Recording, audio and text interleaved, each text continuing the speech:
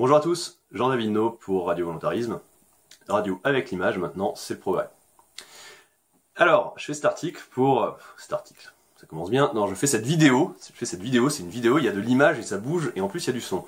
Donc je fais cette vidéo pour euh, commenter un article du Monde qu'on m'a qu'on m'a transmis. Un article du Monde qui concerne le petit tract que j'ai distribué là. Où on voit un peu ce qu'on nous prend en impôt sur quelques exemples précis.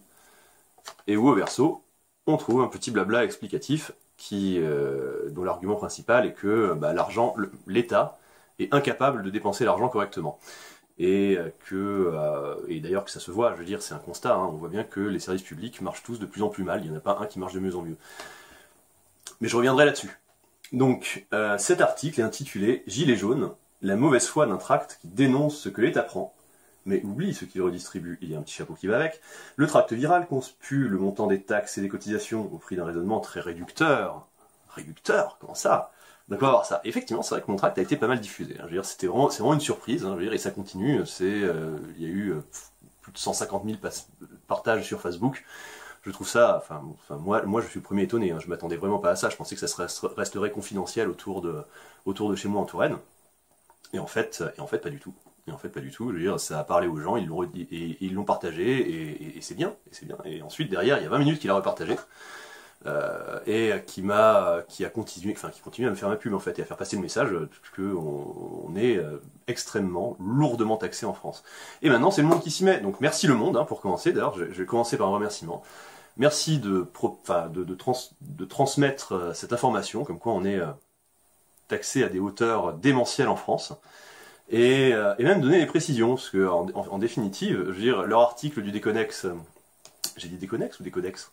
C'est Déconnex avec un D comme Delta, hein, pas avec un N comme Novembre, hein, il faut pas se tromper. hein. Euh, donc cet article, je veux dire, il va préciser beaucoup de choses.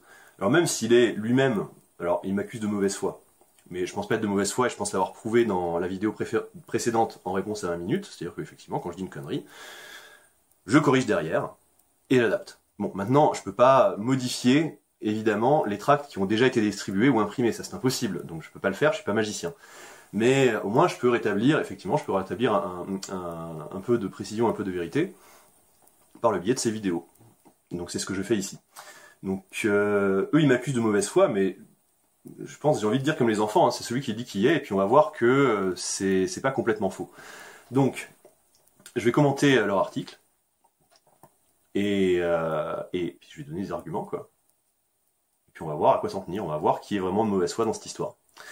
Donc, l'argument principal du monde, ah oui aussi, précision, hein, je vais mettre, euh, regardez dans la description du vidéo, de, la vidéo, il y aura le, lien vers l'article complet. Je vais pas lire l'article euh, au complet, ça a, pas, ça a vraiment pas de sens, donc je vais pas le faire. Mais je vais mettre, le lien pour ceux qui, euh, qui ont envie de s'infliger ça, c'est-à-dire de lire le truc de A à Z. Et, euh, et puis bon, bah, évidemment, de faire leur propre idée, hein, s'ils ne les convainc pas, ce qui est tout à fait possible. Donc, je mettrai, ce lien-là. Et vous pourrez constater que euh, l'argument principal dans cet article, c'est... euh, oui, bon d'accord, Jean-David No est pas un menteur. Il y a beaucoup de taxes en France. Mais ces taxes, elles servent à financer des tas de trucs qui sont super bien. Comme les services publics, les routes, les hôpitaux, les machins, enfin, en gros, tous les trucs, tous les trucs que l'État fabrique. Donc on va voir tout ça. Donc, euh, donc c'est parti. On commence par les carburants. La partie sur les carburants, ils disent des chiffres parfois justes, parfois trompeurs. Les carburants taxés à 60%, c'est vrai, mais. Effectivement, c'est vrai. Donc ils n'ont rien à dire là-dessus. Euh, ils en font quand même deux paragraphes pour expliquer que les 60% de taxes vont servir à financer tout un tas de trucs et de machins. Inutile de détailler ça. Évidemment, on sait tous que euh, lorsque l'État nous prend du pognon, il va en faire quelque chose. Je veux dire, ça va pas que partir dans les poches des, euh, des ministres, des hauts fonctionnaires ou je sais pas quoi. Je veux dire, évidemment, tout le monde sait que l'État fabrique des trucs qui existent et dont les gens se servent. Je veux dire, et m'accuser de mauvaise foi là-dessus, c'est quand même un peu fort de café, puisque au verso du tract, c'est précisément ce que j'écris. J'écris au verso du tract que euh, l'État prend du pognon et le, et le réutilise pour organiser tout un tas de services. Des services de merde qui coûtent une blinde et qui marchent de moins en moins bien. Mais euh, donc quelque chose me dit que alors soit le monde n'a pas regardé, euh, n'est pas allé regarder mon tract dans l'intégralité, ils n'ont pas regardé, ils n'ont pas allé lire le verso, ou alors ils l'ont fait et ils l'ont sciemment ignoré puisque la photo qui circule c'est que le c'est que le recto, celle avec les diagrammes, sans le blabla explicatif derrière. Ce qui est possible aussi. Donc c'est euh, si j'étais un tout petit peu, euh, je sais pas, un tout petit peu teinté de paranoïa, je serais peut-être censé de dire que c'est une manip. C'est-à-dire que plutôt que de remontrer, justement, moi il me semblait que le journalisme c'était c'était aussi l'art de recontextualiser l'information et d'essayer de montrer justement ce qu'on ne voit pas. C'est-à-dire plutôt que de montrer uniquement le, le euh, voilà, de serrer le cadre sur le détail où on voit par exemple l'homme qui se fait percuter par une voiture, mais de l'élargir et de voir que en fait, ben, cet homme il s'est fait percuter par une voiture peut-être parce qu'il a traversé au rouge, j'en sais rien. C'est, mais là ils ne le font pas, ils le font pas avec mon tract, c'est assez curieux alors que pourtant ils avaient toutes les sources disponibles, notamment le tract en HD, c'est pas très compliqué de le retrouver sur Facebook, c'est pas très compliqué d'aller lire ce blabla explicatif. Mais là, ils l'ont pas fait. Et donc là, ils m'accusent de mauvaise foi et d'oublier sciemment cela. Alors que non, c'est exactement l'inverse. Si on lit, si on lit le, recto de mon, le verso pardon de mon tract, on constate que justement c'est aussi également mon argument central. C'est-à-dire que tout ce pognon qui part en taxe, on sait que l'État va le réutiliser, le réinjecter ou réorganiser, euh, réorganiser des pans entiers de l'économie avec, voire monter des services de A à Z avec, et on voit que ça ne fonctionne pas. Bref, sans en dire plus, je pense que là-dessus, l'article n'est pas parfaitement honnête. Euh, ils auraient pu faire largement mieux. Passons à la suite. Bon, la partie sur les carburants étant vue, on peut passer à la partie suivante qui est sur les salaires. Donc là-dessus, ils n'ont pas grand-chose à dire, parce que c'est vrai. en fait, même, c'est un peu pire que ça. C'est-à-dire que le, le, le, vrai salaire pour un net à 1700 balles est plutôt proche des 3000 que des 2800. Donc bon, l'ordre de grandeur, c'est quand même à peu près ça. Mais ça, je l'ai découvert, euh, ben, donc, bah, évidemment déjà grâce à, déjà grâce au, à l'article de 20 minutes et, euh, et aussi également un commentateur qui, euh, qui a lancé le débat qui a lancé le débat sur cette question dans la vidéo précédente. Et donc je suis allé vérifier, effectivement, la, réalité est un petit peu pire. Donc euh, c'est... en regardant des fiches de paye, effectivement, je suis tombé sur des 3000... Enfin voilà, pour un, pour un 1700, je suis arrivé à des valeurs qui iraient entre 3000 et 3400. Après, bon, j'imagine que sur un CD, j'imagine que sur les CDI, il doit aussi y avoir pas mal de cas particuliers, donc ce qui fait que peut-être ces, valeurs peuvent varier un petit peu. Mais à la fin, ce qu'on voit, c'est que euh, il y a au minimum, au minimum 40, 40% de, euh, de votre salaire qui part, en taxe. Et ça, c'est l'argument, et là-dessus, ils n'ont pas grand-chose à dire. Alors comme ils n'ont rien à dire, mais qu'ils devaient quand même, remplir la page, eh bien ils ont fait un long développement de pinaillerie sur euh, sur bah, sur cette histoire de pour dire ah non c'est pas tout à fait exact et puis il y a aussi des différences c'est-à-dire que les SMIC sont un peu moins taxés etc donc ils font ça ils n'ont pas grand chose à dire. Mais euh, en définitive en définitive ils me, me donnent raison. Voilà. Ensuite euh, sur la partie médecine. Sur la partie médecine. Ça c'est ça c'est la partie là je suis obligé de le confesser encore une fois c'est la partie faible du tract parce que effectivement j'étais mal informé là-dessus donc euh, je, vais, bah, encore une fois faire, euh, bah, faire amende honorable hein, et puis euh, expliquer que c'est ça déjà un je l'ai fait en toute bonne foi. Hein, je pensais vraiment que c'était le cas, c'est-à-dire que le chiffre d'affaires des médecins était fait via les via les, les, paiements des patients sur la consultation à 25 balles et en vérité c'est pas c'est beaucoup beaucoup beaucoup plus compliqué que ça. C'est-à-dire que des médecins m'ont répondu sur Facebook et m'ont fait des exposés extrêmement complets, extrêmement détaillés sur leur fiscalité et c'est abominable. C'est inimaginable de complexité et de complications, ça a l'air d'être un enfer. Je me dis en fait, c'est terrible parce que ces gens qui sont médecins euh, ont aussi manifestement des capacités à sortir de labyrinthes euh, aussi complexes que cela, avec euh, avec des monstres déguisés en URSAF un peu partout. Enfin, c'est horrible. C'est bon. La conclusion, c'est que j'ai peut-être eu tort, probablement eu tort de faire ce diagramme-là, puisque bon, effectivement, il est, il est, il est parfaitement inexact.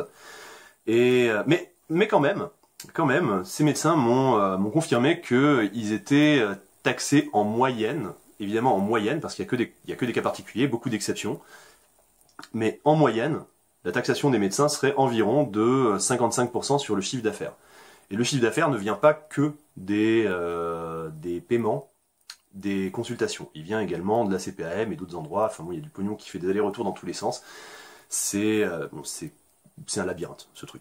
Ensuite, euh, ah voilà, la planche à billets, c'est toujours le sujet le plus intéressant, et c'est toujours le sujet que, qui est le moins bien compris d'ailleurs par ces journalistes. Mais bon, pas que par les journalistes, hein, malheureusement. Alors que, ça me paraît pas si compliqué en fait. Donc euh, je vais, je vais rester un peu, je vais rester un peu de temps sur euh, cette question-là parce qu'il y a beaucoup, y a, beaucoup de choses à dire. Donc je vais, là pour le coup, je vais lire, je vais lire leur paragraphe intégralement et je vais le discuter de un peu plus longuement que que pour les autres. Donc c'est parti. Un raisonnement simpliste sur la planche à billets. Le tract affirme de manière assez confuse que l'État volerait l'argent aux contribuables en créant de la monnaie. Il faut d'abord préciser que la politique monétaire de la zone euro est définie au niveau de la Banque Centrale Européenne, dont, dépend la Banque de France. Mais c'est surtout le raisonnement qui pose problème. En fait, le tract accuse l'État ou l'Europe d'être responsable de l'inflation. C'est-à-dire du fait que les prix augmentent généralement année, après année. Et donc pour simplifier qu'un billet de 10 euros aura moins de valeur dans 10 ans qu'aujourd'hui. Sauf que la création de monnaie n'est pas le seul paramètre en jeu dans l'inflation. Quant à parler de vol, ça n'a guère de sens. Par ailleurs, les institutions européennes jouent un rôle protecteur de l'épargne des contribuables puisqu'elles garantissent les dépôts bancaires des contribuables de jusqu'à 100 000 euros en cas de crise financière. Voilà. Donc là, il y a énormément de choses à dire. Bon, il y a pas mal de choses à dire là-dessus. Euh, la première, c'est que bah, il y a pas mal de mépris dans ce dans ce paragraphe, hein, oui, parce que euh, un raisonnement simpliste et affirmé de manière confuse, ce sont pas des arguments, ce sont des insultes, surtout lorsqu'on arrive à prouver ni l'un ni l'autre.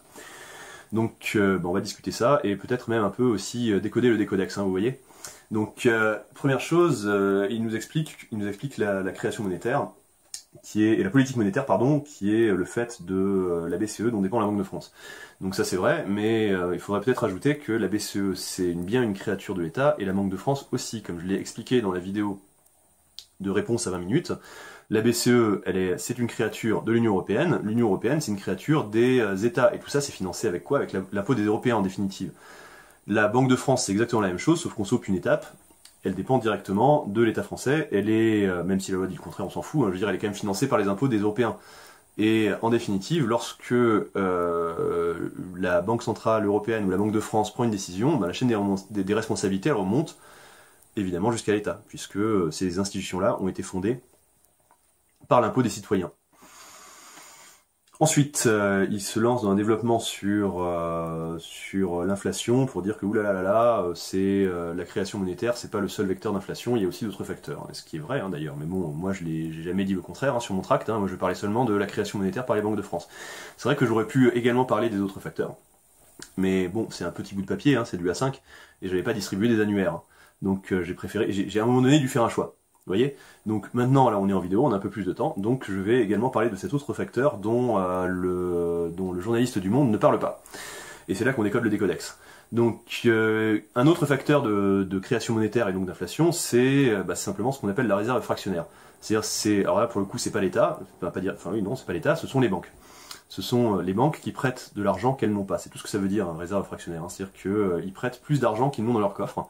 Cet argent, il circule dans l'économie et il y a exactement le même effet que euh, la, monnaie imprimée par les, banques centrales.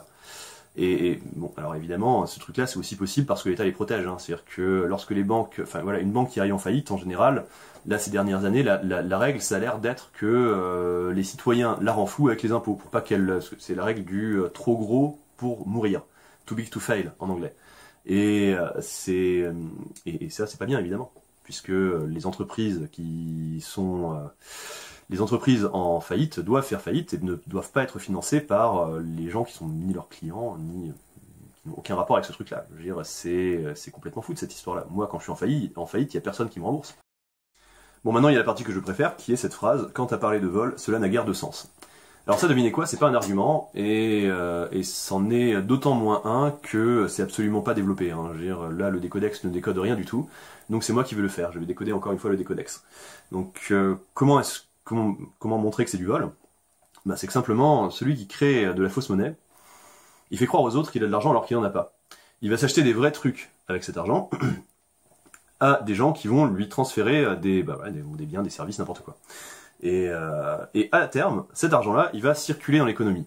Or, qu'est-ce, qui se passe lorsque une nouvelle masse monétaire arrive dans l'économie? Ben ça, on l'a vu, et euh, même le journaliste du Monde est d'accord avec moi. Hein, il est d'accord avec moi pour dire que ça fait monter les prix. Donc euh, maintenant, comment est-ce que c'est perçu? Je qui profite de ce truc-là? C'est évidemment le mec qui est proche de la source de nouvelle monnaie, c'est-à-dire le créateur, et la personne à qui il va donner cette nouvelle monnaie en échange de biens ou de services. Ces gens-là, ils s'enrichissent, c'est-à-dire que le premier, il récupère des trucs matériels, et l'autre, il récupère des liasses de billets euh, qu'il pourra, réinjecter derrière pour acheter d'autres trucs, des vrais trucs. Maintenant, ceux qui sont loin de cette source de nouvelle monnaie, qu'est-ce qu'ils vont voir? Ils vont seulement voir les prix augmenter. Et ils vont uniquement voir qu'avec la même somme, ils pourront s'acheter moins de trucs, au bout d'un certain temps, au bout de je sais pas moi un mois, un an, ce genre de choses. Et c'est donc oui, c'est bien un vol, c'est un transfert de richesse qui s'opère entre euh, les, euh, les gens qui sont loin de, cette source de nouvelles monnaies vers ceux qui en sont proches. Celui qui crée de la nouvelle monnaie, il le fait pour s'accaparer des vrais biens. Il va s'acheter des iPhone 10, des machins, des biens, des services, des trucs qui existent, et tous les autres, ils verront les prix de, tous ces objets, de tous les biens de consommation augmenter. Donc c'est bien du vol. C'est un vol un petit peu indirect, c'est complètement, ça, a l'air complètement invisible parce qu'on a du mal à cerner le coupable ni ce qui, euh, ni le point de départ de ce vol-là, mais c'en est un. Donc voilà pour cette partie. Euh, pour plus de précision, je vous envoie, euh, je vous encourage à aller visionner une petite vidéo que j'ai commise qui s'appelle La création monétaire en 4 minutes, c'est sur ma chaîne. Ça dure pas très longtemps, c'est très clair, il y a même des petits dessins qui expliquent ce phénomène. Donc je vous invite à aller voir ça. J'invite notamment euh, le journaliste du Monde, s'il me regarde, à aller voir ça, il pourra peut-être apprendre des trucs. Passons à la suite. Donc oui, du coup, lui, il passe, il passe à la suite sans, euh, sans rester plus longtemps sur euh, cette partie-là, sur la création monétaire. Donc du coup, il dit par ailleurs, les institutions européennes jouent un rôle protecteur de l'épargne des contribuables puisqu'elles garantissent des dépôts bancaires des contribuables jusqu'à 100 000 euros en cas de crise financière. Alors ça, j'ai pas très bien compris à quoi il faisait référence, donc si quelqu'un peut m'éclairer. Donc, mais j'ai quand même une hypothèse. Donc c'est une hypothèse, attention. Hein, ça, je veux pas être aussi assertif que pour les autres points. Mais est-ce que c'est le fait que, est-ce que ça aurait pas un rapport avec le fait que les Chypriotes soient fait chipper, euh, chipper leur euh, pognon sur leur compte en banque en 2013. Non, c'est pas, c'est, pas ça. Je sais pas. C'est, je me demande c'est pas ça. Mais oui, donc effectivement, donc ils garantissent, c'est-à-dire en cas de crise financière, en gros, c'est-à-dire que l'Europe va se servir sur les comptes. C'est, c'est pas du vol, ça? Alors on va dire oui, bon, ok, c'est seulement les comptes supérieurs à 100 000 euros. C'est pas grand monde qui a 100 000 euros, c'est pas grave. C'est, une question de principe. Enfin, je veux dire, c'est euh, si c'est bien ça hein, qui est, euh, auquel cet article fait référence. Non, c'est une question de principe. Voler, c'est mal. Peu importe qu'on vole un riche, un pauvre, c'est, euh, il faut, il faut pas voler. C'est, pas bien. C'est normalement on vous a expliqué ça au genre d'un enfant. Ne, ne, frappe pas tes petits camarades, ne vole pas, c'est mal. Donc il faut faire la même chose. L'Europe, elle doit pas faire ça. L'État français, il devrait pas faire ça non plus. Voilà, donc je vais passer à la suite. Donc voilà pour cette partie sur euh, la planche, la, planche à billets. Comme d'habitude, c'est toujours la partie la plus intéressante et celle sur laquelle les journalistes disent le plus souvent n'importe quoi. Euh, mais donc du coup, je vais passer à la suite. Ensuite, une intox sur l'héritage des enfants. Euh, c'est bah là c'est un peu comme pour les médecins, je suis obligé de confesser que c'était pas tout à fait exact. Donc là-dessus, euh, bah, j'en ai parlé également dans la, vidéo, de réponse à 20 minutes, c'est vrai.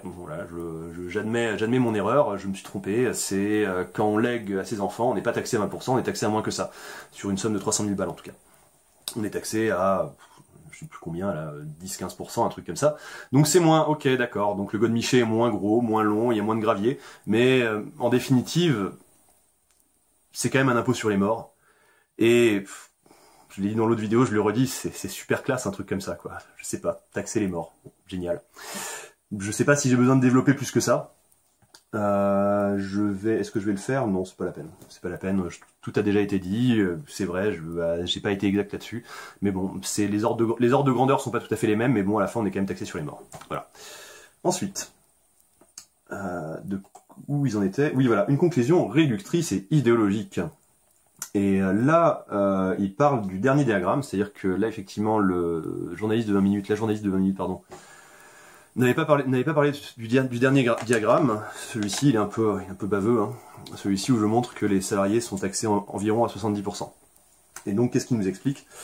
Ils disent que, euh, oulala, le calcul force le trait. En France, les prélèvements obligatoires, c'est-à-dire l'ensemble des sommes perçues par les administrations publiques, étaient de 43% selon l'INSEE. Alors, ben on va faire le calcul. On va faire le calcul. Donc, on va partir de ce, euh, salaire que j'ai donné, de 2800 réel. Je veux dire, même si c'est un peu plus dans la réalité, on s'en fout, on va prendre ça. Donc, euh, voilà le calcul que j'ai fait. Donc, 2600 réel. Il y a 1100 balles de taxes. Ça, on a vu, le monde était d'accord avec moi. Là-dessus, il s'ajoute l'impôt sur le revenu, bien sûr ça, on l'a, il faut le compter à un moment donné celui-là. Donc sur un salaire de ce prix-là, de, de, euh, sur un, euh, un, 1700 net, ça doit faire du, euh, ça doit faire du 220, du 220 par mois, je pense, un truc comme ça. oui, c'est ça, du 220 par mois. Si c'est faux, corrigez-moi, je vous fais le calcul. Hein. Mais bon, moi je suis parti là-dessus. Hein. Je me suis dit c'est à peu près ça. Pris la tranche, la tranche à 13% et hop. Euh, ensuite, ben, une fois qu'on a le net moins les impôts, on achète des trucs. Donc il y a la TVA. Donc ça fait 300 balles encore sur ce qui reste. Et euh, une fois qu'on s'est acheté tous ces trucs, si on veut les léguer, par exemple une belle maison ou ce genre de choses, eh ben il y a l'impôt sur les successions. Donc là-dessus, ça va faire encore 230 balles. on arrive à un, un, super net de 950 balles, donc c'est-à-dire c'est 2800 moins toutes ces taxes, on arrive à 950, et c'est 68% d'impôt. Allez, j'ai arrondi à 70. Et après, je sais qu'il y en a qui vont me dire, ouais, mais il y a des gens, ils laissent pas d'héritage, tout ça. Bon, bah, sans héritage, ça fait 58% d'impôt si on enlève tout ça. Vous vous rendez compte? Je veux dire, on est loin des 45 de, de l'INSEE. Enfin, je veux dire, ils se foutent de nous, ces gens. Donc c'est faux. Ensuite, ils se sont amusés à essayer de me présenter. Alors ils ont été beaucoup moins honnêtes et euh, beaucoup moins performants que euh, la petite journaliste de 20 minutes. Euh, donc, qu'est-ce qu'ils ont dit? Déjà ils, déjà, ils ont fait une citation de moi qui est, je suis pas sûr qu'elle soit tout à fait exacte. C'est alors après, peut-être que c'est la journée, peut-être que la journaliste de 20 minutes m'a enregistré et que c'est un verbatim, c'est possible. Euh, j'aurais voulu enregistrer cette conversation moi aussi, mais je sais pas le faire. Donc euh, et j'ai pas eu le temps d'apprendre entre le moment, c'est tout allé très vite, donc euh, donc je l'ai pas fait. Voilà, donc c'est possible que ce soit un verbatim, mais bon après dans les verbatim effectivement on va dire des, enfin des verbatim, dans les enregistrements audio quand on, quand on parle un peu à bâton rompu, on peut dire voilà on va dire des trucs, mais bon c'est peut-être pas forcément ce que je, voilà ce qui est le sens de mon propos. Donc je vais rétablir la vérité. La citation, j'essaie de mettre un peu d'ordre là-dedans. Parfois il y a des propos un peu contradictoires. Par exemple, les gens disent qu'il faut baisser les taxes et qu'il faut plus d'hôpitaux. On, ne peut pas avoir un État-providence et moins de taxes. Alors c'est vrai, mais ce que je dis, c'est pas il faut plus d'hôpitaux, c'est plus d'hôpitaux payés par l'État, bien sûr. C'est cette partie-là qui manque. Alors peut-être que je l'ai pas dit à la journaliste, à la journaliste de 20 minutes euh, lorsqu'on a parlé au téléphone, c'est très possible, mais bon, je l'ai dit à d'autres endroits. Ça, pendant les 20 minutes, c'est évident que cette partie-là a été abordée. Donc voilà, je rétablis la, vérité ici. Donc, euh, et c'est vrai, on peut pas avoir un État-providence avec des petites taxes, c'est impossible. Quand vous avez un gros état-providence, vous êtes obligé d'avoir des taxes massives pour que ça marche.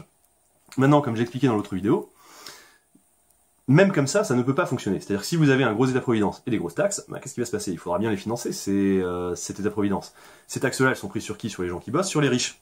Les riches, s'ils ont du pognon, ils ont aussi les moyens de se barrer, et donc ils vont aller se barrer dans des endroits où on va moins les tabasser fiscalement. Ils vont partir, à, ne sais rien, au Luxembourg, à Malte, que sais-je.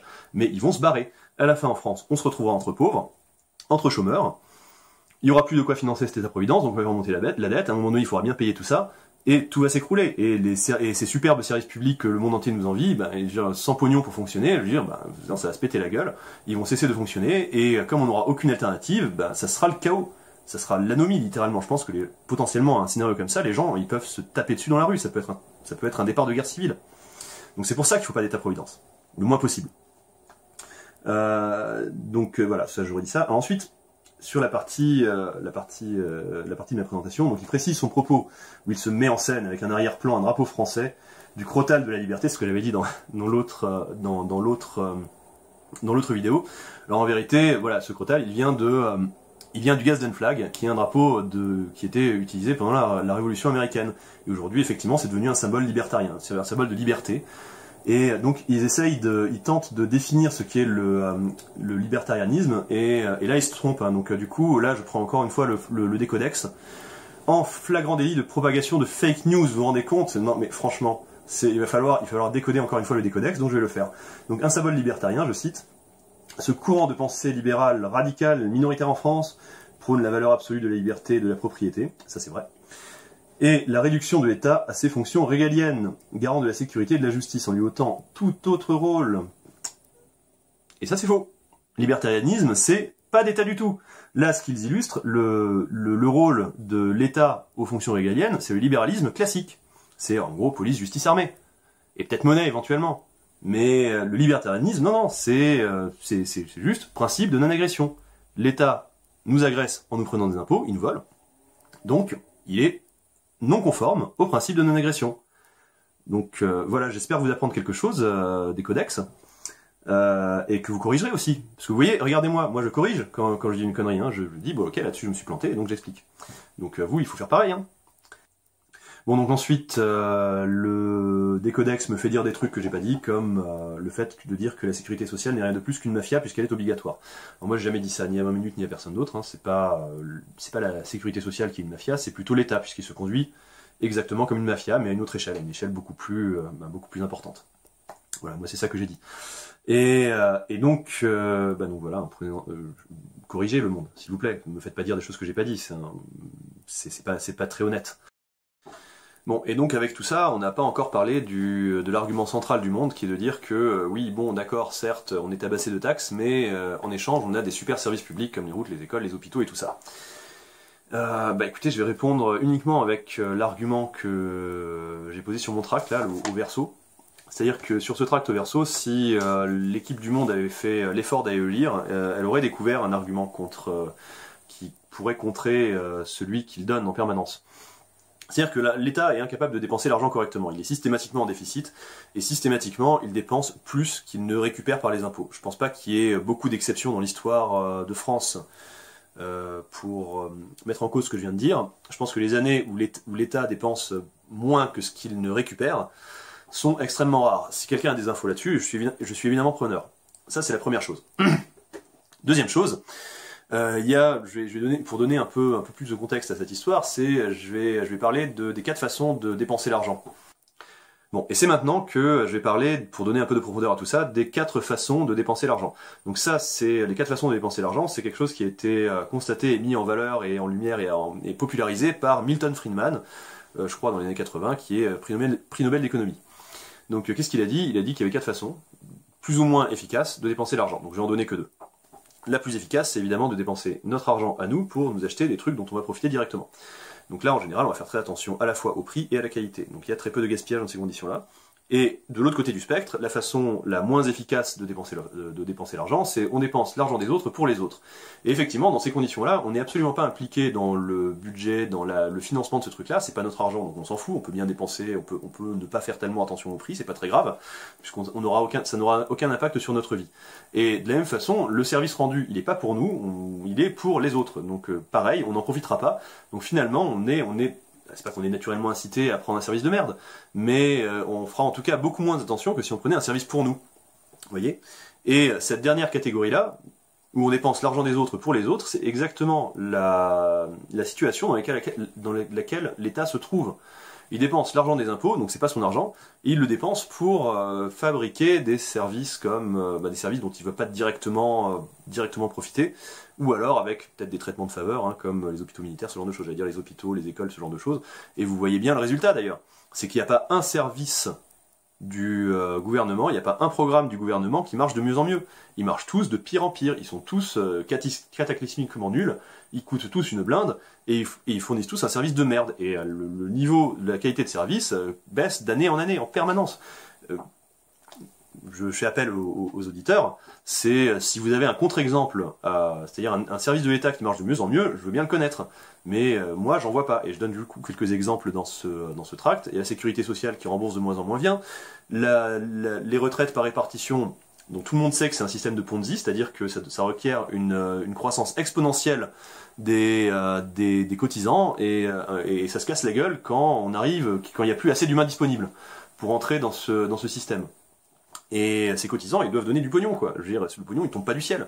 Ils devront travailler et changer ce genre de choses. Donc non, ce truc-là, ça va se péter la gueule à plus ou moins brève échéance, on ne sait pas exactement quand, mais ça finira bien par arriver. En tout cas, aujourd'hui, les... là on voit les petits vieux qui sont, qui, qui baissés leur retraite et qui râlent, bah ça c'est peut-être le début déjà, c'est-à-dire que euh, on se rend compte que c'est en train de se péter la gueule.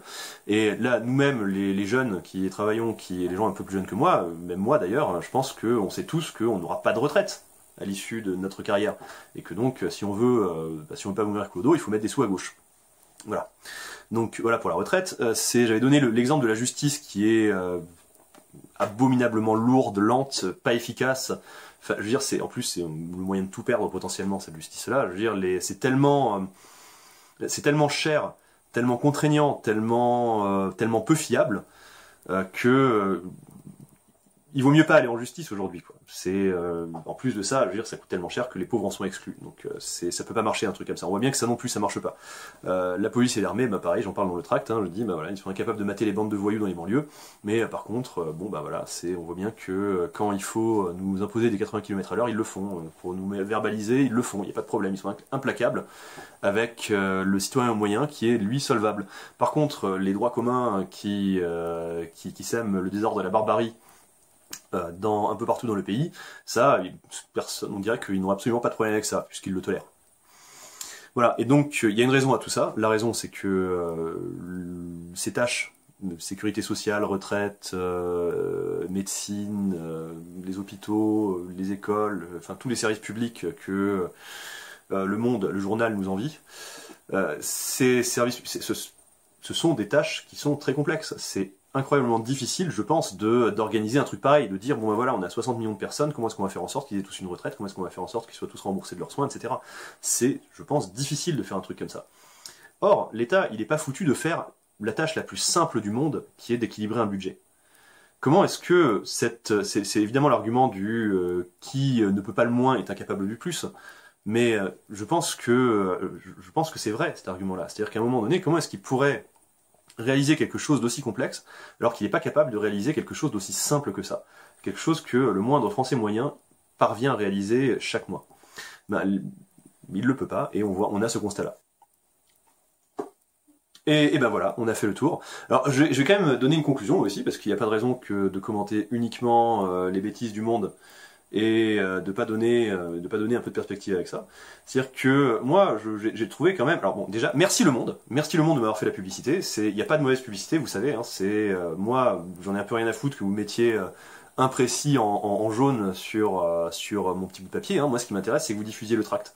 Vous voyez, c'est même si derrière je me fais incendier dans les commentaires, derrière, je me suis bien amusé en les lisant hier soir. C'est vraiment vraiment j'ai ri, ri aux éclats. Et c'est mais bon donc du coup je vais commenter un peu tout ça. Donc déjà c'est sur euh, l'honnêteté euh, et la diligence du monde à, reprendre mon petit bout de papier à le commenter et, à, et, en faire euh, avec autant de réactivité un article pour dans sa rubrique désintox ou je sais pas comment il l'appelle ici. C'est moi, j'admire, j'admire le procédé. Vraiment, c'est, euh, je, trouve ça, je, trouve que c'est bien. Je veux dire, c'est vraiment le travail du journaliste, effectivement, que de vérifier les informations. Donc ça, c'est très bien. Alors première chose, c'est juste dommage que vous soyez pas allé vérifier le contenu du tract vous-même. Vous n'avez manifestement pas lu le verso déjà. Vous n'avez pas tenté de me, joindre, ce que la petite journaliste de 20 minutes avait fait. Et, euh, et, et, surtout, surtout, c'est est-ce qu'il n'y aurait pas deux poids deux mesures là-dedans? C'est-à-dire que euh, l'empressement que vous avez mis à que vous avez mis à, à, démonter mon petit, enfin tenter de démonter mon, petit bout de papier qui, qui est distribué, euh, vous le mettez pas vraiment quand euh, un journal comme l'Humanité balance connerie sur connerie jour après jour. Vous le mettez pas non plus quand votre propre journal diffuse des fausses informations jour après jour. Et ni et même pareillement, c'est un c'est un tract. C'est-à-dire que c'est forcément, un, forcément une information qui est synthétique, qui doit aller à l'essentiel et qui prend pas en compte toutes les, tous les régimes d'exception comme, je sais pas, le SMIC ou je sais pas quoi. C'est, c'est le principe d'un tract. Un tract, c'est forcément une synthèse. Après, ça peut être une synthèse honnête, comme j'essaie de le faire, ou ça peut être quelque chose de parfaitement malhonnête avec des fausses informations dans tous les sens. Où là, c'est pas c'est pas genre un taux, on se dit ah non en fait c'est 45 et pas 55 euh, ou l'inverse, ou euh, carrément le, tract va dire euh, va, publier une information qui est juste fausse, qui ne correspond pas à la réalité, ce qui n'est pas le cas du mien. donc ça, je remarque que vous le faites pas pour les tracts, bah oui, les tracts des organisations communistes. Pourtant, Dieu sait qu'il y en a. Euh, Dieu sait que j'en croise tous les jours des, euh, des grosses bêtises sur, euh, sur l'économie, sur l'écologie, sur, sur l'exercice du pouvoir, sur toutes ces choses. sur l'ultralibéralisme supposé de Macron, par exemple, ça, par exemple, ça pourrait être, ça, pourrait faire l'objet d'une, ça pourrait faire l'objet d'un déconnexe, vous voyez, puisque l'ultralibéralisme, personne ne s'en réclame. C'est un terme qui n'existe pas, et, et, malgré tout, je des tracts qui prétendent que Macron est ultralibéral, il y en a plein. Maintenant, je vais vous apprendre un truc, et donc pourquoi ne les pourquoi ne les reprenez-vous pas, ces tracts-là? Pourtant, ils sont diffusés, peut-être pas moins que le mien. C'est vous avez, quelque chose à faire là-dessus. Donc, euh, je vous encourage à un peu plus de cohérence. Bon, ben, voilà, je pense qu'on est allé, à peu près au bout du décodex du monde. Donc, euh, j'espère qu'on y voit un petit peu plus clair. J'espère aussi que euh, ce tract continuera de tourner. Je fais en sorte de le corriger au fur et à mesure Évidemment, pour les versions, euh, les versions ultérieures, vous avez la, version à jour qui circule sur Facebook. Hein, vous allez voir sur mon profil, il est disponible. Euh, qu'est-ce que je peux dire de plus? Bon, bah évidemment, je suis pas magicien, hein, je pourrais pas corriger les versions qui sont euh, déjà, qui sont déjà distribuées. Mais bon, d'un autre côté, c'est pas très grave puisqu'on a vu à chaque fois que les informations sont fausses à la marge. C'est-à-dire que voilà, on se, je, me gourde d'un petit pourcentage ou de quelque chose comme ça, mais à la fin le principe reste le même. On voit bien que, enfin le, le principe reste vrai et c'est tout à fait et ce que dit le tract est quand même conforme à la réalité. Je veux dire, on est écrasé d'impôts en France, ça doit cesser et on doit absolument s'orienter vers des solutions qui sortent du tout État, qui sortent de l'État-providence, mais surtout avant toute chose, qui rendent la liberté aux Français. Il faut baisser les taxes, il faut moins d'impôts, plus de liberté. Une fois qu'on aura ça, l'économie repartira d'elle-même et on pourra envisager de euh, justement de, réduire un peu l'État-providence pour faire émerger des solutions, des solutions libres qui seront nécessairement plus efficaces, plus disponibles, moins chères. Bref, ça sera, enfin, ça, ne peut être que mieux. Voilà, je vais m'arrêter là. Merci beaucoup d'être allé jusqu'au bout et à bientôt sur Radio Volontarisme. Au revoir.